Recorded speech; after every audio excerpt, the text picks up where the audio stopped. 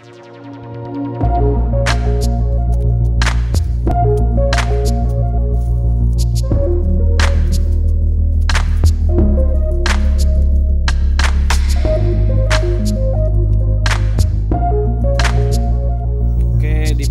ini saya akan menampilkan sebuah tutorial cara membuat cangkang ketupat untuk hari raya Idul Adha. Yang pertama kali kita ambil dari pohon kelapa yaitu daun kelapa yang masih muda. Atau kalau bahasa Sundanya itu baralak yang seperti ini. Lalu kita kemudian kita belah pisahkan dari batang lidinya seperti ini. Yang satunya lagi kita belah lagi sama seperti tadi.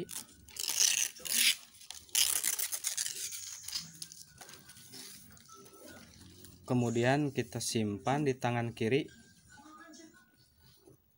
Yang kepalanya ini yang besar di atas lalu kita lipat menjadi tiga lipatan seperti ini yang kedua kepalanya simpan di tangan sebelah kanan kepalanya di bawah seperti ini.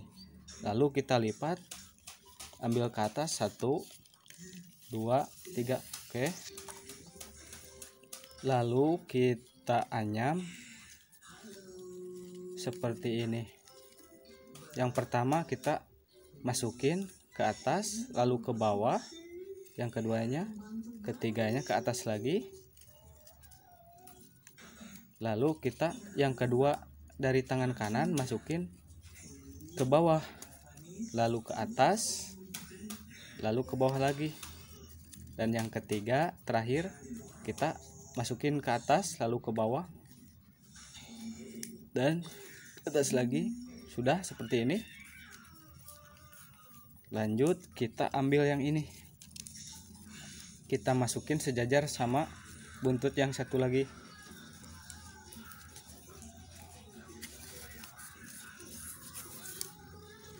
Masukin sampai ke bawah. Lalu kita ambil buntut yang ini. Masukin.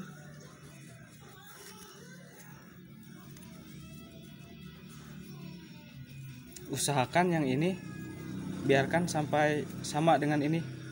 Biar nanti yang kepala ini masuk ke sini. Oke kita lanjut dulu. Ke sini. Kemudian kita ambil yang kepala ini. Lalu kita simpan tengah-tengah. Masukin. Jadi ada jarak. Lalu ini kepala yang satu lagi. Masukin oke ini udah jadi lalu kita rapihkan. Kita tarik-tarik biar enggak terjadi bolong seperti ini. Lubang enggak ada lubangnya. Kita rapihkan. Kita tarik dari sini. Terus tarik cari arah yang masih longgar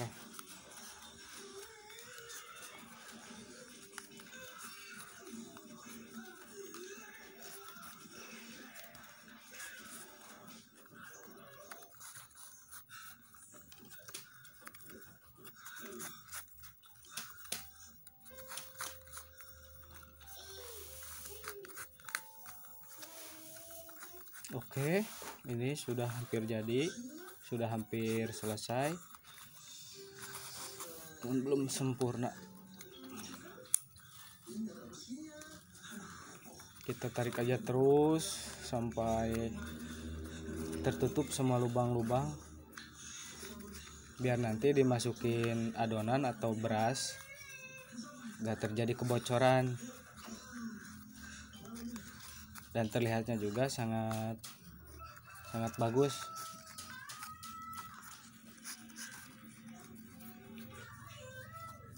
Ini salah tarik kita tarik ke bawah dulu.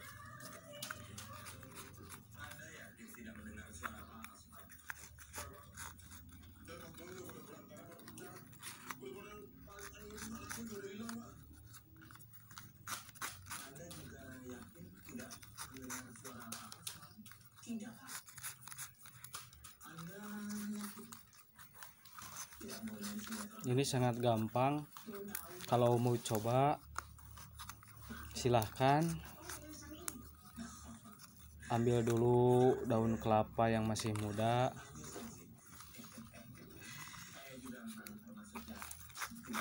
Pilih yang mulus yang bagus yang enggak sobek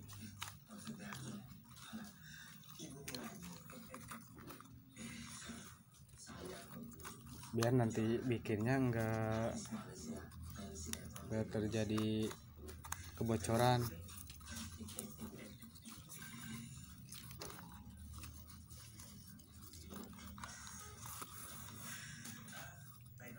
Masih belum rapi kita rapikan terus.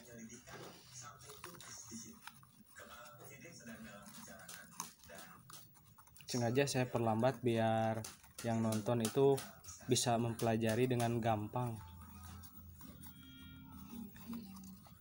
Kalau beli ini dari pasar bisa jadi satu cangkang ini seharga 500 atau 1000 itu tiga atau 300 lumayan. Kalau mau bikin ini bisa gratis dan sangat murah beda sama beli di pasar. Dan kita mau coba yang kedua. Kemudian yang kedua kita coba yang berbeda dari yang tadi. Pertama kita simpan belahan cang belahan daun kelapa ini di sebelah tangan kiri kepalanya di atas lalu kita lipat menjadi sama seperti tadi tiga lipatan. Namun yang di tangan kiri berbeda kepalanya di tangan kanan berbeda tang kepalanya di bawah. Lalu kita tarik cuma dua lipatan. Kita buat yang berbeda bentuk dari yang tadi. Perbedaannya tadi yang kiri di tiga yang kanan tiga. Kalau ini yang kiri tiga yang kanan cuma dua. Lalu kita coba masukin anyam. Satu ke atas ke, ke bawah kemudian ini. Udah. Lalu kita masukin. Seperti ini. Masukin lagi. Udah. Lalu buntut ini. Kita masukin.